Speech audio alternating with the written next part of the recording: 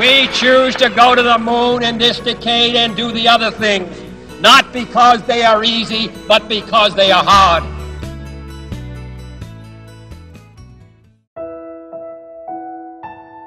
As his words propelled us toward a higher frontier in 1962, President Kennedy also spoke of being in an hour of change and challenge, in a decade of hope. Only a few weeks earlier, and within hearing distance of JFK's historic speech, Dr. Denton A. Cooley had already embraced this age of challenge and launched his own hope in the world. Like the space program, this launch had profound consequences for all mankind. Dr. Cooley had founded the Texas Heart Institute at St. Luke's Episcopal Hospital. Not to slip the surly bonds of earth, but to break the deadly grasp of premature death and untold human suffering. Not to probe deep space, but to go deep inside the human heart.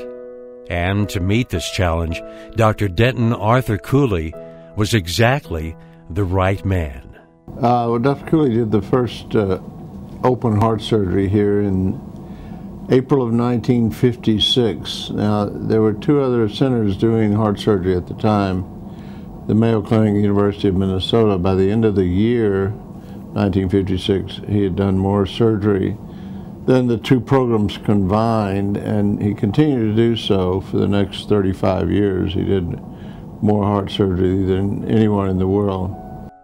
A gifted student and outstanding athlete, young Denton entered the zoology program at the University of Texas at Austin in 1939 at age 16. He graduated in 1941 with highest honors and then began his medical training at the University of Texas Medical Branch in Galveston. Along the way, he would become fascinated by the surgical scene and the teamwork that embodied surgery. He transferred to the Johns Hopkins Medical School in Baltimore, where he earned his medical degree again at the top of his class. He began his internship in 1944 under the tutelage of Dr. Alfred Blalock. The 24 year old Cooley assisted Blalock in the world's first operation to correct a type of congenital heart defect that leads to low oxygen in the blood. The pioneering procedure became known as the Blue Baby Operation. It was also seen as the dawn of the modern heart surgery era.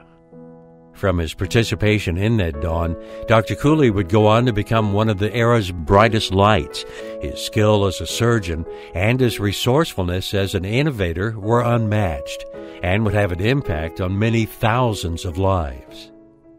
43 years ago, I was seven years old. I was uh, very sick, and my parents took me to go see what was the problem. Uh, when they found out that I had a hold in my heart in the atrium, uh, Dr. Cooley examined me, and they had uh, decided I needed to have surgery. Because if I didn't have the surgery, uh, it was stated that I wouldn't live to be in my teens or my early 20s. Again, I thank Dr. Cooley and I thank God for using him and being a blessing to our, us in our lives. For the greatest gift, Dr. Cooley, thank you. Dr. Cooley's accomplishments would become legion and legend. Among them, he pioneered surgical techniques to correct congenital heart abnormalities in infants and children, to bypass clogged coronary arteries, to repair aortic aneurysms. He developed and perfected new methods for repairing and replacing diseased heart valves. As a young intern, he developed a defibrillator, an electrical device to shock the heart back into a normal rhythm. So I set about on my own to develop a defibrillator at uh, Johns Hopkins Hospital. When I helped make the paddles uh, that you put on the heart. I had a uh, rheostat that we put on the floor that you could manipulate it with your foot to get the uh, degree of electrical uh, shock uh, the, that was available.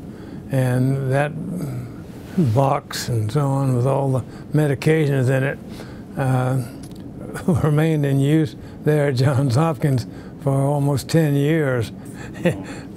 Well, it was not much of a salary. I, at the time, my salary was fifty dollars a month, and uh, but I did spend almost uh, one hundred and fifty dollars uh, on the machine. Even more significant, he helped to refine, improve, and expand the use of a heart lung machine that bought surgeons precious hours, not minutes, within the human heart. But Dr. Cooley uh, really demonstrated that safe, effective uh, surgery could be performed to a large degree uh, with the heart lung machine and uh, allowed the expansion and the uh, utilization of this technology worldwide.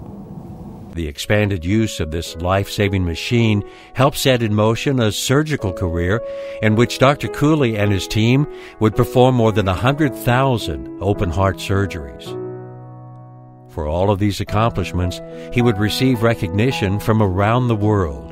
His awards included the country's highest civilian honor, the Presidential Medal of Freedom, and its highest science award, the National Medal of Technology and Innovation.